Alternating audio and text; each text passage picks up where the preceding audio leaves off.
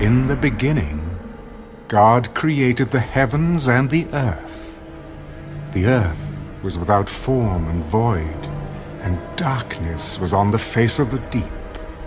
And the Spirit of God was hovering over the face of the waters. Then God said, Let there be light. That stuff is flat.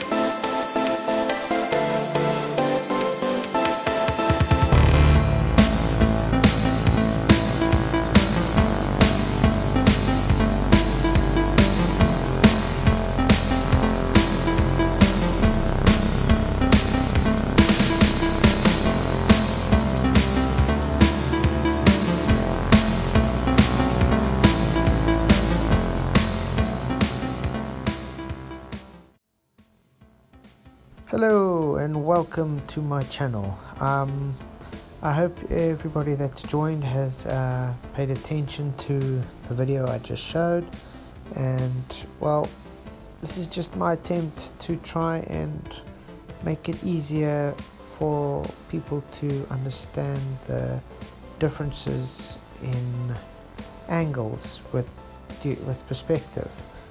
Uh, the reason I'm making this video is because uh, it was very apparent to me when I was having a conversation with uh, Tommy that he either didn't have a correct understanding of how perspective would change the um, relationships with the with the different objects, or if he's just trying to ignore what was being presented.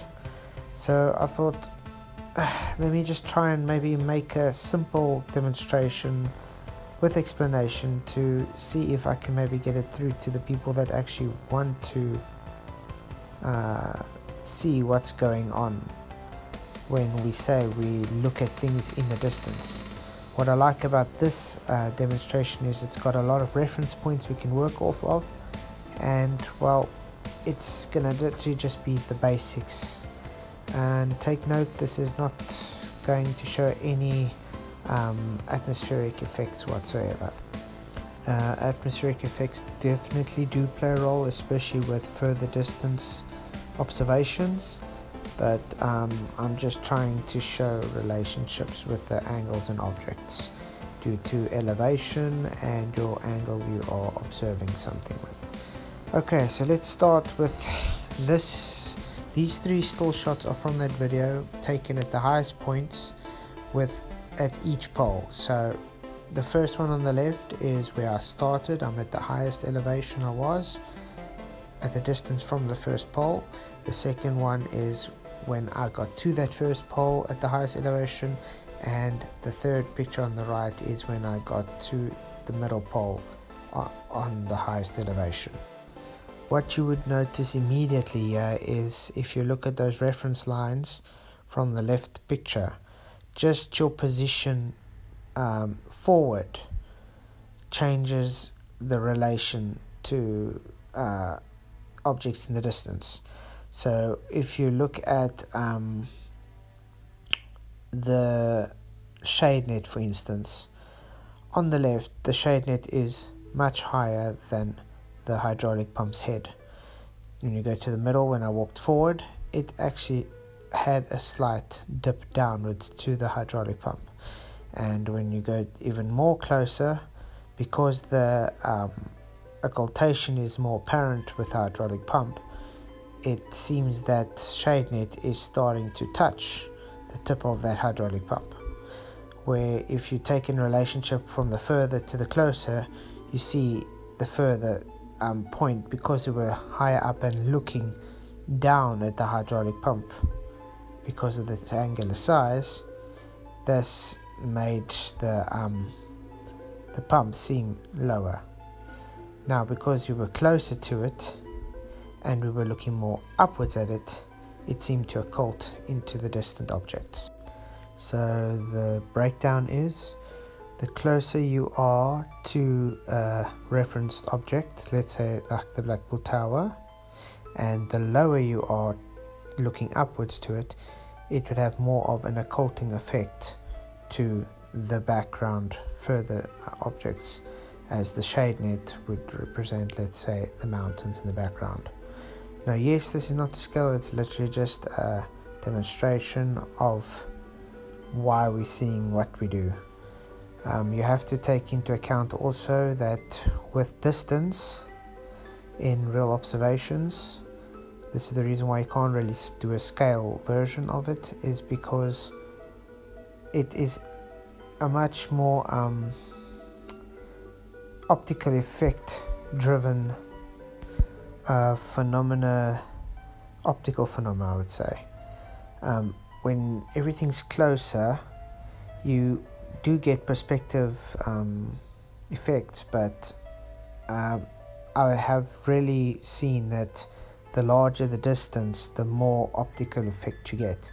Because you are looking through more atmo you're getting uh, weather differences you know there's a bit of refraction there's even though refraction is not always very apparent to see it is always there.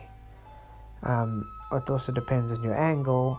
It also depends on the lens you got of your camera. It there's so much different variables that change and that's why you can't really take on a footnote let's say just like what these uh, globe believers have been doing just angular size trigonometry and saying this is what you would expect to see because that's not reality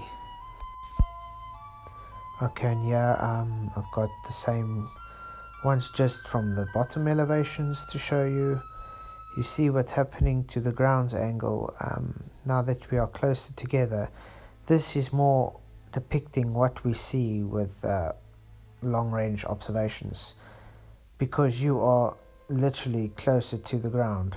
So the further you're looking into the distance, because of perspective, the ground is rising up relative to eye level.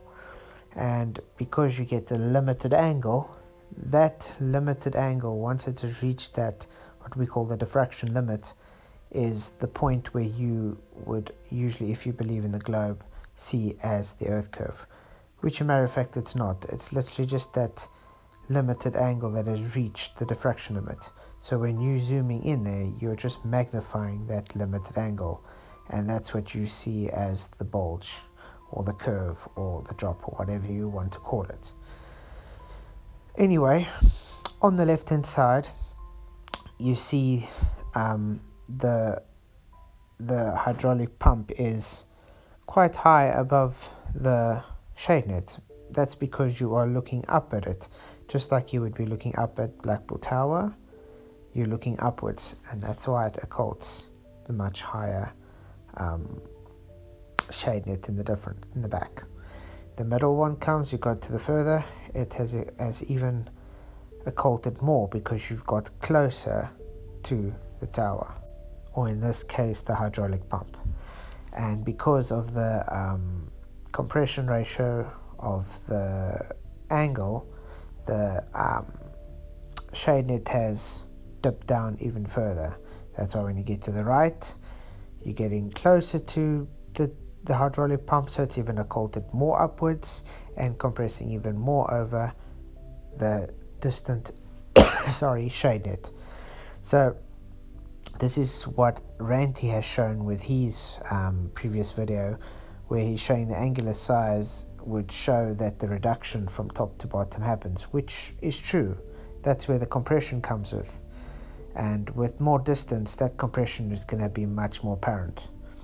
Now, um, when you get and take that with the limited angle like Rue have showed, the floor has definitely got the largest angle, you get the bottom up obstruction with things in the background compressing downwards. And that's why we have the Blackpool Swan image. So I would like uh, everybody to actually just take a look at the video again maybe and just look at the different reference points and the relationships to every reference point to the distance and the angle and the elevations just so you can get a rough idea on why we see what we do. Because this literally demonstrates we never see earth curve so at the end of the day it's all just optical. It's all just got to do with perspective and the natural phenomena that are um, demonstrated with perspective. So yes when it comes to far distant observations definitely any um, lighting phenomena or weather phenomena or anything definitely has a huge part of perspective. So if anybody tells you that has nothing to do with perspective, obviously is being very disingenuous or is really ignorant to the fact that we do for, for our observations and due to the observations being so far you have to take every optical variable into account. Um, this is the latest demonstration from Bearded Devil. You know, the guy that claims to not be a globe believer or a flat earther, yet all his demonstrations go against the globe and demonstrate the horizontal plane. Well, yeah, in this video you can see he's trying to explain inferior mirages without him realizing that he is literally showing the inferior mirage um, yeah practically just magnifying the limited angle. Um, so you see, just based off of this demonstration alone, we know that the object in the distance is at its actual position, not loomed up or refracted anywhere. You literally got a band of atmo to look through. So the further you look through, the more denser that band is and the more uh, mirroring effect you be getting that you're seeing this. It's literally just mirroring that image of the light of that image more closer to you on the x-axis. This can only happen on a horizontal surface as he is showing. If it's done on a curved surface it's not going to be able to push the light far enough for you to be able to see. You just saw he used that uh, tin of compressed air behind that limited angle where the um, the band is the most prominent because it's it's um, magnifying that limited angle before where he had it. Thus proving there's no curve there. It's literally just the limited angle that's showing this. Now he's going to move the car forward more to the area of where the horizon would be you understand? Where the people say okay look this is where the curve starts.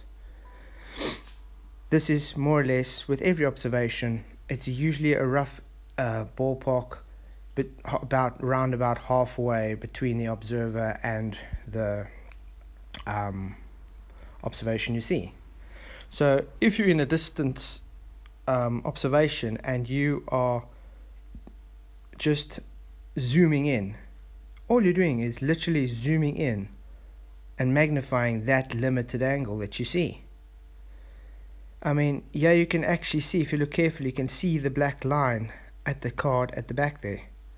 That black line is actually literally where the card, where the actual card is sitting, the bottom of the card. So the horizon is just playing tricks on you. It's not in front where the card's wheels are about now and blocking the bottom of that card it is where it's supposed to be and you can see this by the effects of the limited angle just being magnified by the inferior mirage at this point so bearded dragon I have to with really I have to say thank you so much for all your demonstrations trying to disprove us on a horizontal plane while you are actually, without knowing it, validating everything we are saying. Thank you very much. And while you all know Bearded Devil's going to say, oh, the surface is not 100% flat. Nothing is 100% flat. We live on a stationary plane that's got topography. That is reality. On land, you got slopes, you got hills, valleys, mountains. Yes, we label this flat because it's horizontal. Just like this horizontal surface you got is still flat even though it's got humps and bumps and little imperfections. It totally mimics what we see in real life. Yeah he's just still spraying at a different place. You see there he's actually gotten and put it on the that limited angle that's halfway about between the observer and the card just have to say again thank you bearded de uh, devil you are making one fine flat earther. So um, going back to the angles, because he's so low and he is looking at uh, his level upwards at the card a bit, that um, limited angle is very prominent. And you can see this even with that basket in the in the background. You can see the, the bottom is just just just just underneath like with the card. But because of the occultation you can see the card is not really bigger than that um, uh, basket. I mean if you have to put them side by side you'll know that card is much smaller than that basket. But because they're so close together and you are looking upwards at it and that uh, card is closer it seems larger. So again card is in the exact position it's not refracted above a curve it's on a horizontal surface and it is showing where the limited angle is. This is what they would call earth curve if you guys want to watch the full video from Bearded Dragon Ach Bearded Devil I will put his um, video in the description box I would actually advise people to subscribe to him because he really has very good flat earth demonstrations. Even though he's trying very hard to debunk us, I think deep down he knows. Well, thank you all for watching. God bless. And remember, we live on a stationary horizontal plane. Bye.